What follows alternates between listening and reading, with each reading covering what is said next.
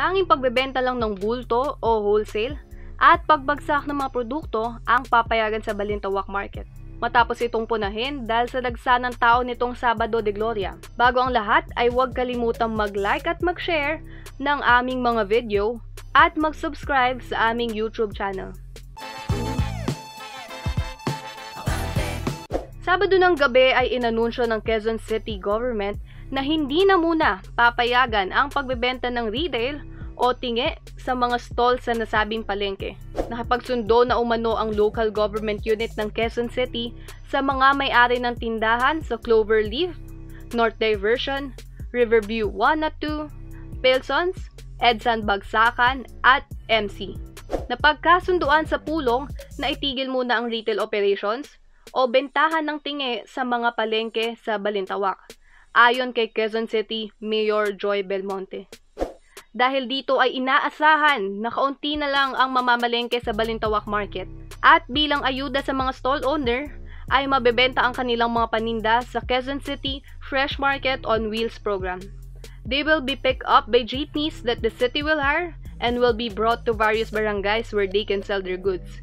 Ayon kay Assistant City Administration for Operations, Alberto Kimpo. Ayon naman sa ilang netizen, masyado nang huli ang pag-aksyon ni Belmonte sa nasabing problema sa Balintawak Market.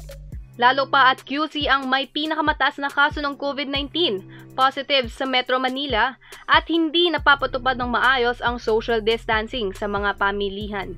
If ever this is true, which I doubt is, put the blame on Quezon City LGU. Look at Balintawak Market today. People are not staying at home. No one is observing social distancing. Kung saan marami namamatay, doon maraming pasaway. Bakit? May aksyon ba ang LGU?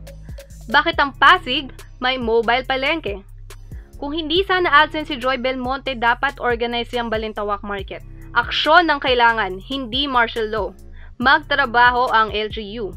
Ilan din ang hindi kumbinsido na ipasara ang nasabing palengke. Dahil magkukumpulan lang umano ang mga tao sa mas maliliit na bilihan. Mobile palengke like what we have in Pasig City. There is physical distancing in the queue. It dispersed the people unlike Balintawak Market. All people from all the city flocks there. Ewan ko dyan kay Joy Belmonte. Tonta. Kahit fresh grad ilaban dyan mananalo next election. Kasi, palpak siya. Shutting down Balintawak Market for retailers doesn't solve the problem. It actually worsens it because the people will flock to smaller wet markets or talipapa. The LGU just transfers or spreads the problem. Put enough law enforcers, control the entrance gate, and regulate numbers of shoppers. Ikaw, kaabante, anong masasabi mo sa balitang ito? Mag-comment na at muli huwag kalimutang mag-like at mag-share ng aming mga video at mag-subscribe na rin sa aming YouTube channel.